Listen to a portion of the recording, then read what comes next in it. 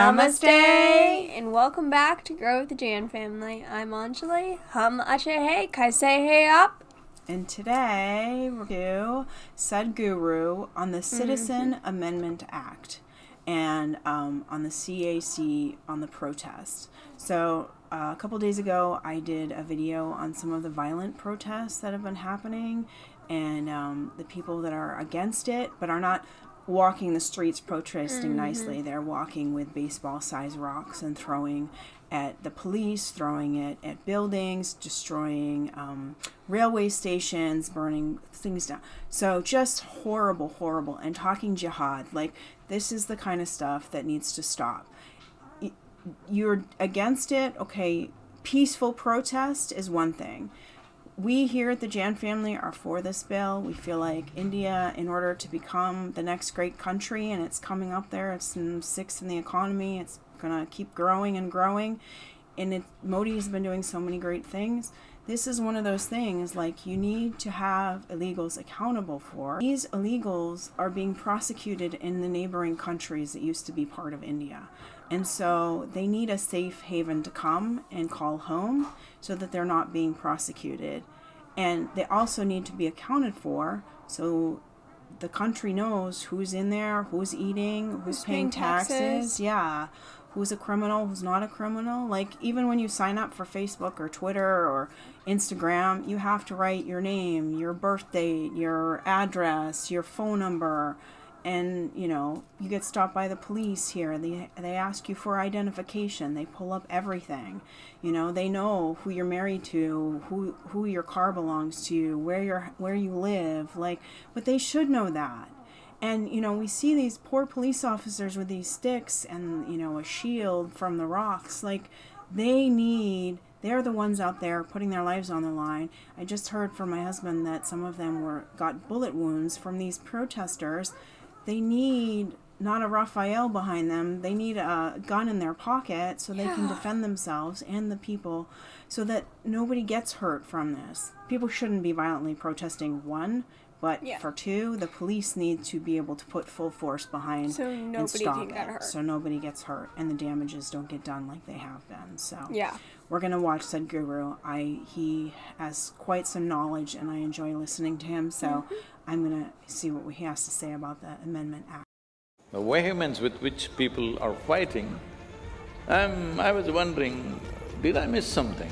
I think in a very calibrated way, somebody sent the message to the minorities that your citizenship is under threat.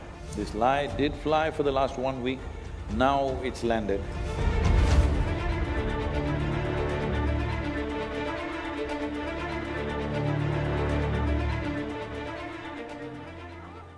Namaskaram, Sadhguru. Sadhguru, there is a lot of turmoil in the nation regarding CAA and NRC. I am confused, and many of us do not even know what to make out of it. Where did you come from? I am from Lucknow. Oh. and there is so much going on. Yeah, I know, Lucknow people are confused.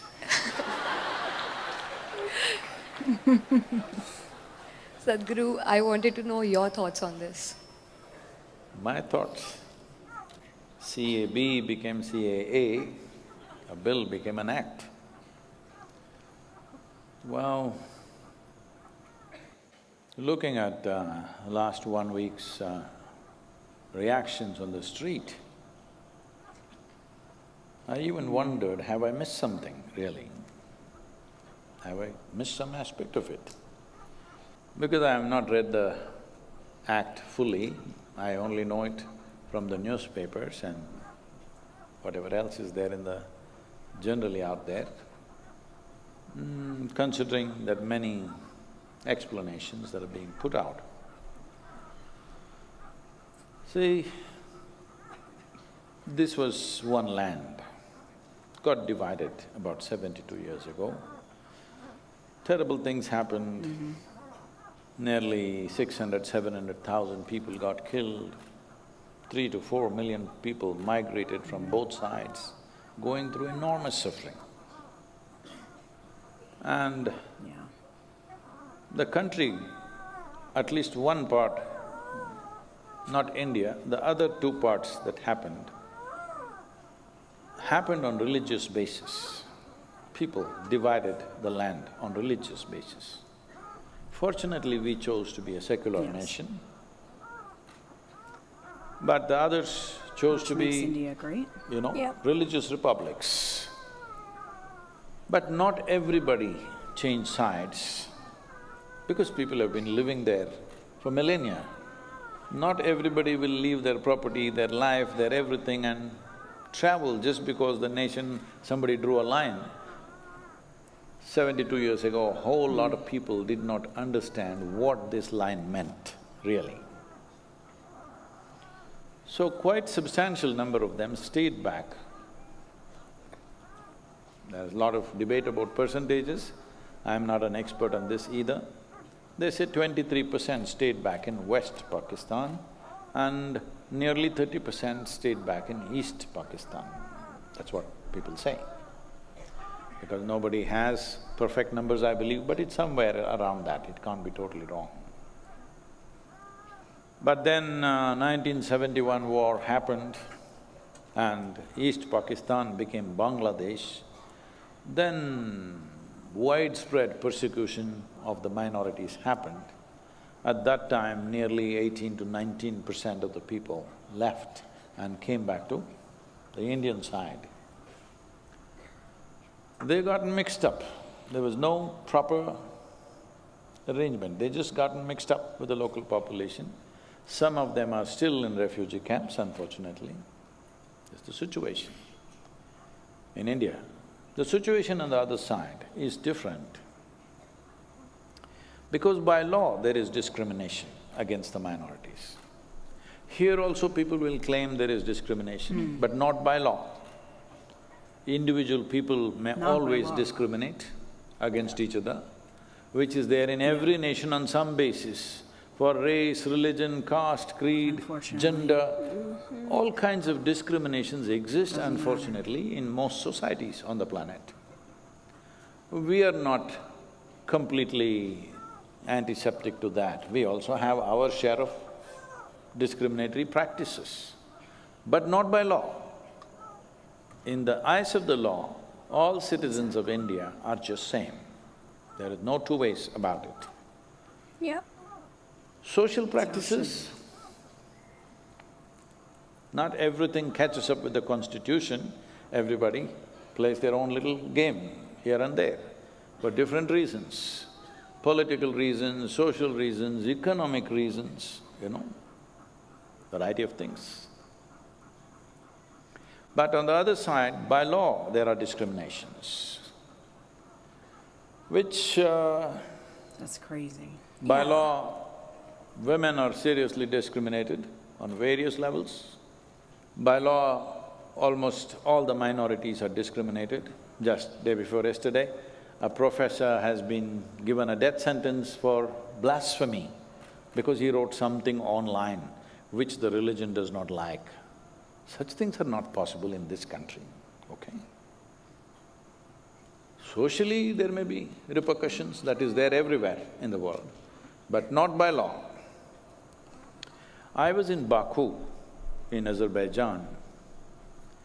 One hundred and sixty-four Pakistani Hindus were visiting Baku because Baku has a fire temple which is over five to six thousand years old.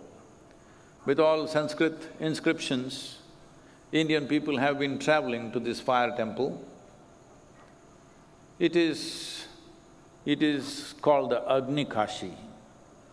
So those who want to do sadhana on fire because of natural gas, naturally on the land, there are points where fire is burning or has been burning forever.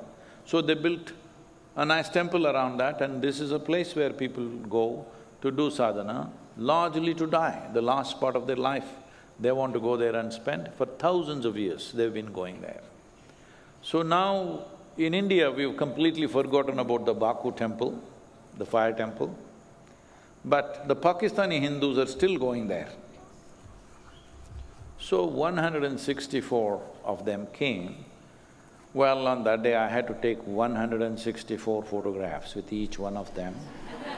And then families, and then friends and groups and totally two hundred pictures in one evening.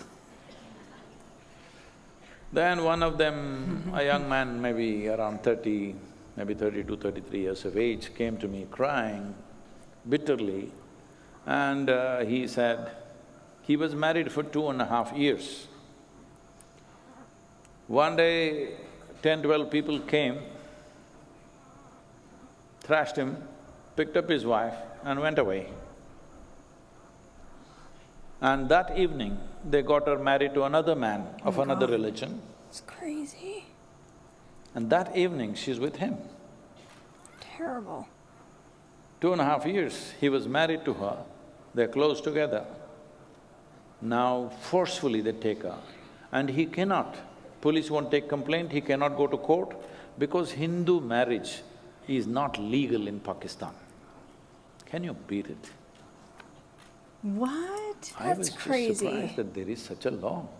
Oh my god. I have not made a study of it, I must check this out, somebody must check this out properly. Why? But I inquired and a few other people confirmed it is so. I'm not hundred percent on this, but this man's plight is real. That they pick up his wife, take her away, that evening they get her married to somebody else and she's supposed to live with him that evening. Because his marriage is not valid, because he's gone through a Hindu ritual. He has not gone through the rituals that the other religions are propagating. So his marriage is not valid. So people have been going through these kind of things, so a trickle of people, slowly when they get overly frustrated, they can't live there, they've been coming for last few decades. In my opinion, CAA like- mm-hmm. is too little compassion coming too late.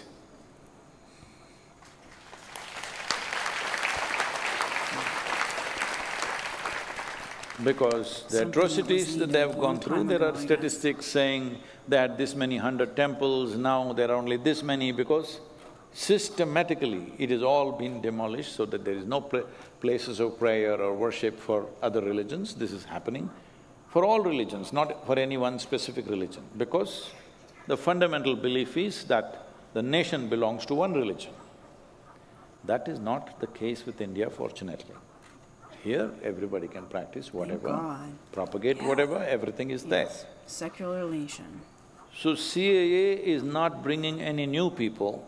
See, we are populated, all right, even here. We are well populated. So we don't need millions of people coming from another country, no matter what is the situation there. We can't go on taking people. So some cutoff date was fixed as per the Assam Accord. 1972 or 71 was something was fixed because that is the time when huge influx happened. A genocide which killed three million people. Three million Hindus were killed just before Bangladesh got liberated. So at that time, a massive influx of people happened. So local people started protesting because their culture is being overrun by refugees. The refugee population is bigger than the local population in Assam, so they have always been protesting. You know the whole Assam movement in seventies. So there they made an accord that we will identify all the foreigners and send them back or do something, redistribute them, whatever. That never happened because people who made that accord, they only signed the paper, they did not act. So now the cutoff date is 2014. Those who have come before that, that means they've been living in this country for 10, 20 years without a driving license, without a passport, without a ration card, without an Aadhaar card, without any kind of identity, like animals. There's no human identity in this country. Because of this controversy, should we accept them or not accept them? Now you make up your mind and say, till 2014, whoever has come, we will accept them. But looking at the reaction in the country, it amazes me, are we… are we this hard-hearted that somehow for whatever reasons. But this bill is only focused on religious persecution. You may have some other trouble and you want to come here, that's not allowed. You may looking for economic opportunities, you cannot come. If you want to come, there is a separate channel for that. Anybody can apply for Indian citizenship and go through the normal process of law. Exactly. Yeah. Like in any other nation, even in India, you can apply for Indian citizenship, go through the normal process irrespective of your religion, you can come into India. This is a block acceptance of citizenship. This is for those people who have been living here, nineteen… I mean, 2014 means they've been here for at least over seven years. Most of them over 15, 20 years. Well, uh, looking at the reaction on the street, the vehemence with which people are fighting, I'm… I was wondering, did I miss something? Am I not getting something here? But uh, since in the last twenty-four hours I looked up a few things, this is all it is. And everybody knows that's all it is. Now slowly everybody is changing their stance and saying, no, no, we are reacting because of police atrocity. Nobody… See, one thing is it looks like the government was caught napping because they didn't expect such a big reaction for such a simple issue. So they didn't put up enough police on the streets. So police got really thrashed badly in most places, brutally. Yeah. And with their sticks. So, Yeah. when a few thousand people corner twenty-five policemen and thrash them, naturally when the bigger force comes, they are going to do some things. I'm not trying to justify anything. This is the reality that we have seen in the last eight days. And now everybody is changing their stance and saying, no, no, it's not that we never said it's religious discrimination, it is just pro… police should not enter the university. But university students can behave like uh, what quarry workers and from inside the university they're throwing stones that's at not everybody No. Yes, they should. and police should not go and stop them. When they go, well, if she's throwing stones and she is not, both will get beaten unfortunately, because she's standing, sitting next to her. This is the way it works in the crowd, huh? Will they go out and point out only she was throwing, others were not throwing? It doesn't work like that. All of them who are sitting together, everybody gets beaten. But I think they didn't use their firepower. That is a lot of restraint, otherwise people would have died in big numbers. Lucknow, where you come from, there are fifty-six policemen who have bullet injuries. I mean, it's Where did the bullets okay. come from? Lucknowi people. Yeah. What are you up to? terrorists. Police have bullet have injuries. What does it say, unfortunately? So, this is a dangerous game people are playing. I think there is a certain desperation among certain people who misinformed illiterate masses of religious groups who went wild thinking that the local Indian Muslims will lose their citizenship. That's what they conveyed. Indian Muslims. It's not. They sent out a message saying, It's against they are terrorists. discriminating and all of you will lose your citizenship and they will throw you out. This is… Uh, well, such mischief should not have worked on the scale that it worked. It should not have. It's unfortunate. Still, in today's day and age where you can just open up your phone and read the act, what does it say? What does the CAA say? Any student can read it, but all of them are coming and Yeah. behaving like illiterate people, they're studying in premier mm-hmm. universities, and how come they can't read the damn act? It's really sad that such a thing can happen, that nobody reads the act, everybody goes by the rumors that are going on. That's not your source of WhatsApp is their source of knowledge, hmm. okay?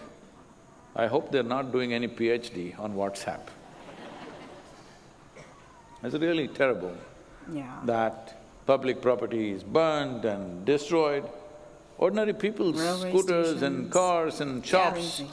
Being Yeah, absolutely vandalized like this, for what? Uh, because once the crowds go into a frenzy state, nobody knows why they're doing what they're doing, everybody's doing something. I think in a very calibrated way, somebody sent the message to the minorities that your citizenship is under threat, which is an absolute lie. Unfortunately, it did fly. This lie did fly for the last one week, now it's landed. Now people know it's not, so they're trying to find Different different reasons why we did what we did. It's very unfortunate. You also want NRC? You sh- you determined to get me into trouble. See, there is an NRC in every nation. It may not be done in this format. Mm-hmm. What That's NRC is means in every is every citizen Yeah. must be registered. illegal. All those who are living in this country must be registered. When we are trying to… Mm-hmm. All of our dogs have In Coimbatore city, there was an attempt to register. All the dogs which have some ownership. Right. I'm saying, the idea is we must know how many dogs, otherwise we don't know what will happen. Because some children were killed by packs of dogs, you know, loose dogs, street dogs, out there attacking school children and eating them up. Mm-hmm. Killed. Yeah. So then somebody suggested, all those who have some ownership, they must have a tag and they must be registered. Their birth and death must be registered. When we are thinking on these lines, we want even dogs to be registered, is it not important how many human beings are there in this country? Where did they come from? Were they born here? Did they come from outside? What is their antecedents? Is it not important for a nation to know this if you want to conduct this nation properly? But some people think that is also religion. discriminatory. Yeah. Class. This is for everybody. All of us, you and me, will have to register. Now, they are giving you various options, you produce your birth certificate, people say we don't have. You show the school foot- footprint, no, I were… I never went to school. You show the ration card, no, I don't have it. Show the Aadhaar card, I don't have it. Do you exist? Show the election registration card, I don't have it. Then who the hell are you? And if you don't have any of these things, they're saying produce three Yeah. witnesses who How know you you along this far? for a period of time. No, I don't have witnesses. Who are you? It is just probably, I think in some way, for whatever reasons, I think the government has failed to communicate this properly. Otherwise, personally, I don't see one issue on these things. But I think communication-wise, the way it is communicated, unfortunately, certain number of people are perceiving it as a threat to them. That must definitely change. If anybody is issuing a Hmm. Long threat back, yeah. through these two most essential, one is of some compassion coming very late, in my opinion, Yeah, it should and have if you're happened already registered, you before. have nothing to worry about. Yeah. Another is an absolute necessity for a nation to register every citizen who lives in this country. See, there are so many foreigners here, we don't know who they are. Yes, we should know where they come from and why they have come, isn't it? In any nation, that's a fact. So, such a simple thing, I think, was lack of proper communication and people took advantage of it and made sure it was miscommunicated. Which is sad, because they're the ones studying. Illiterate youth in the universities went wild. Yeah, Sadhguru has it right. I do Yeah. think somebody somewhere took it the wrong way and it just mm. spread like wildfire. Yeah. And now, you know, he's saying people are trying to be like, oh, we weren't fighting for that, we were fighting for something else, like making a different excuse for the reason for all the Like, rioting. what else would you be fighting for? Yeah. But if you were here, it's not, if you already have citizenship of India, you have nothing to worry about. No. These are people that were prosecuted in neighboring countries that came here when there was a big influx of them coming mm-hmm. because they didn't want to die or be prosecuted or killed or converted in these other countries, came here and been living on in India for the last five, seven, he said what, seven, ten, twenty years, some of Yeah. them. And so trying to make them accountable. They know they came in when they needed and they should have been done a long time ago. And so now they're doing it. So if you already are a citizen of India, it's not against you. No, it's not. And it's not opening the doors for everybody under the sun to come in. If you have papers and you are already a Indian citizen, there's nothing for you to Nothing worry to about. worry about, no. If you can prove a driver's license, a voter registration card, you know, one of the many things, and even that, Sadhguru said, even if you have three people that can vouch for you, that know you lived in that neighborhood for the last five years, that's been your neighbor, that's known your wife, bring them and they can be your your voucher for Yeah. you. But if you don't have any of that, then Who who, are are, you? you? and why are you here? So, in order to run a good country, you need to know who's in your country. yeah. For crime reasons, for economic reasons, you need people to be accountable for tax reasons. You know, you open up a Facebook account, they need to know your address, your phone number, your name. They won't let you, you know, make anything up. Anything you do nowadays, you have to have some accountability for. Yeah. They need to know who you are. And it's not, you know, to be nosy. It's because they need to know for security reasons, for tax reasons. There's a lot of reasons behind it. India, you're the next big country. You're Yeah. like number five or number six right now economically. You're going to be number three very soon. You're going to be up there. And you have to have some accountability for that. But good leadership also needs to come behind this because uh, people didn't understand this bill.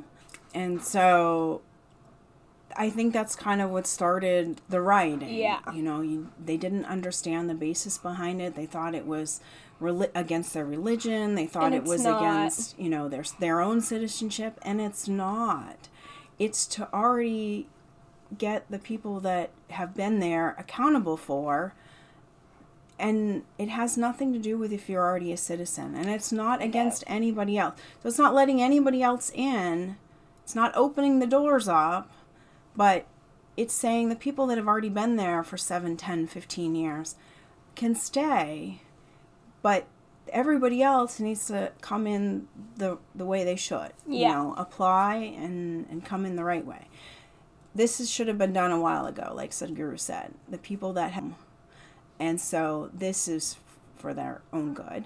And to make them accountable for being in India for as long as they have, to have them say, like, this is my job, this is where I live, this is where I work, this is my family, so that they know who they are and Yeah. who's in the country. Big country, every, we all do it everywhere. So Yep. the big leaders need to help Modi and stand behind this and also let your community know what is really this bill about so that you're not having all these riots, you know, throwing rock throwing and stuff. You know, Wasi is you need to let your community know and be a great leader. You Yeah. know, APJ Kalam, like these are the times that you need to stand up and say, this is not against religion.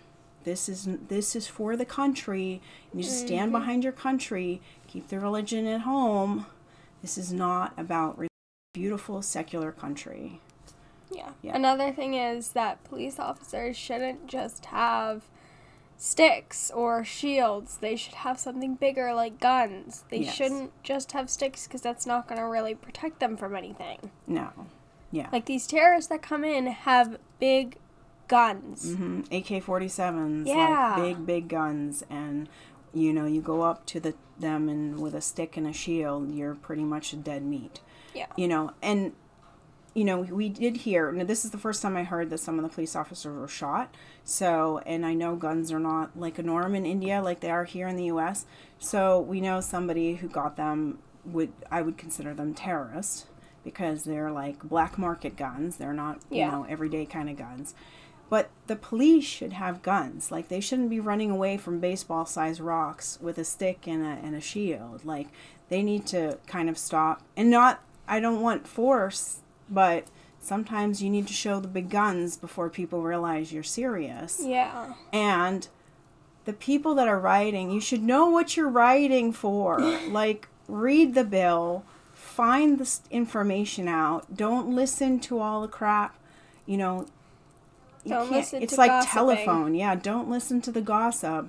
Find out for yourself because you're going out in the streets. Once people start, like Sadhguru said, once you start doing it, you get kind of caught up in the fire of it, Mm-hmm. and you then you don't even remember what started you in the first place to go out there and throw the Yeah. stones. So don't get yourself in trouble if you don't have to be. And if you need to fight for something, do it in a peaceful manner Yeah. you know. But this is a bill that needs the country's support. This is mm-hmm. about India. This is not about religion. This is about your country. Put your country first. Yes. Don't ask your country what handouts they can give you. Ask what you can do for your country. That is how it should be. So I mm-hmm. hope you guys enjoyed this Sadhguru video And don't forget to subscribe. and join our wonderful Jan family.